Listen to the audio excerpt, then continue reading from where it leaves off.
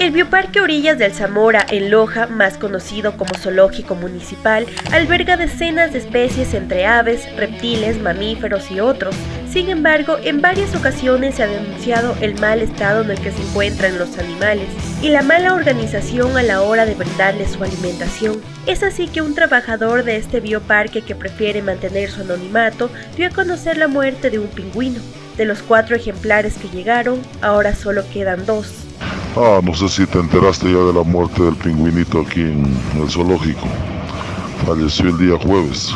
Este pingüino se suma a la lista de varios animales que han perdido la vida en este zoológico, como leones, jirafas, osos y varias especies pequeñas que no son de mucha visibilidad. Ligia Rodríguez, concejal de Loja, mencionó que la poca experiencia de la nueva administración y negligencia administrativa provoca que se den las muertes de estos animalitos. La primera es eh, negligencia administrativa, porque no hay un proceso que siga el cauce normal que ha tenido con cambio de administradores, con nuevas planificaciones. Y en la práctica usted debe entender que la experiencia es la que garantiza que las cosas se desarrollen adecuadamente. Eso está pasando, no solo en el zoológico, sino en la mayor parte de direcciones del municipio. Yo sí creo que tiene gran responsabilidad la parte administrativa y particularmente la falta de una planificación adecuada. Hay que recordar que hace un año aproximadamente, en sesión de Cabildo, el concejal Daniel Delgado, ahora vicealcalde de Loja, expuso diversas fotografías sobre varios cadáveres de animales del zoológico municipal. Él exigía respuesta del por qué pasaba esto con los animales. Si le vemos la uña, es de un avestruz y se le dio a los animales. El señor alcalde no conoce. Pasemos a otra foto. ¿Ya? Si ven ese animal, se mueren los animales y los ponen en cajas o fundas plásticas, pase por favor. Y no hacen conocimiento ni siquiera al ministerio. Es un medicamento que está caducado, si ustedes pudieran verle la fecha, y es lo que se les está aplicando a los animales. Otro animal, otro mono, en una funda plástica. Pasémosle, Lucho, por favor. Miren cómo se los trata a los animales, se mueren, no sabemos por qué, y se los entierra y no se da conocimiento a la ciudadanía. Miren, es un cementerio de animales el zoológico.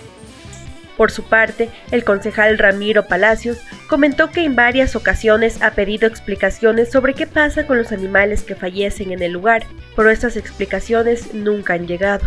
Tenemos la presunción de que inclusive la una jirafa eh, simplemente desapareció, no es que la, se murió o alguna cosa así, yo mantengo todavía mi teoría eh, he querido que me la comprueben y me digan, no, señor concejal, aquí están las osamentas de las dos jirafas que murieron, eh, la cría que también tuvo, que se murió, que dónde están las osamentas y de eso no nos han dado nada, ¿no?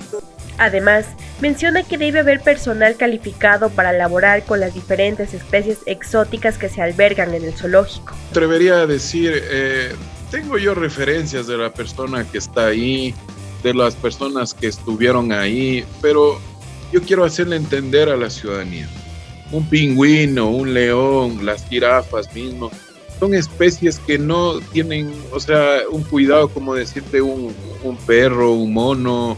No, no, o sea, son, son animales exóticos primeramente que necesitan otro cuidado, otro manejo y todo ese conocimiento sí lo tenía la gente que estaba ahí sí estaban calificados para poder mantener eh, eh, bien cuidados a los animales. Pero el tiempo ha transcurrido y poco se sabe dónde son enterrados los animales que mueren en este zoológico, cuál es el procedimiento que las autoridades siguen y poco se conoce cuál es el cuidado que se les brinda para el buen vivir de estos seres vivos.